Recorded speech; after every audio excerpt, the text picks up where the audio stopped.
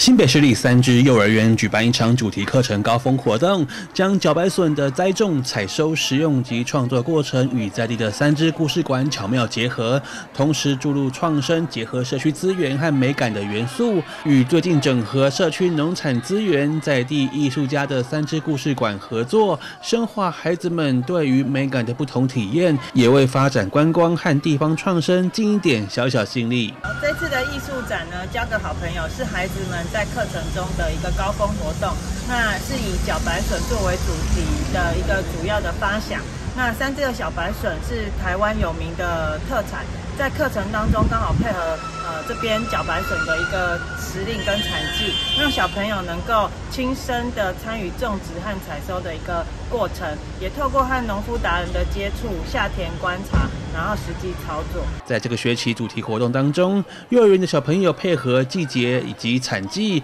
亲身参与了茭白笋的种植与采收，并且与当地农民达人互动，透过观察、实地操作，了解茭白笋的生长。而园长也表示。茭白笋是三只的特产，青师生透过课程深入探究三只的好山好水，配合时令所栽种的农产作物，并且结合在地艺术农产的三只故事馆，让幼儿展出与笋壳的相关艺术创作，从小培养对于美感的知识和体验。那透过这个机会，我们也将联合国 SDGs 的观念和创生的理念融入在这个课程当中。那在青师生的合作下。发展创作出各式各样的呃有趣的艺术品，那结合在地的资源，三支故事馆进行展出。那在这个故事馆当中呢，当地的很多的艺术家，还有农会农产品的呃